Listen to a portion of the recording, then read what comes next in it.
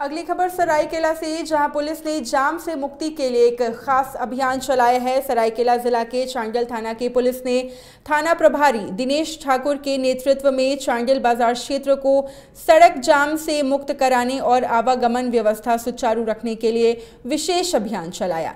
सड़क पर सामान रखने वाले दुकानदारों और वाहन पार्किंग करने वालों के खिलाफ पुलिस ने कार्रवाई कर जुर्माना वसूला। पुलिस ने 35 से अधिक दुकानदार और वाहन मालिकों से करीब बारह सौ रुपये जुर्माने की वसूली की है।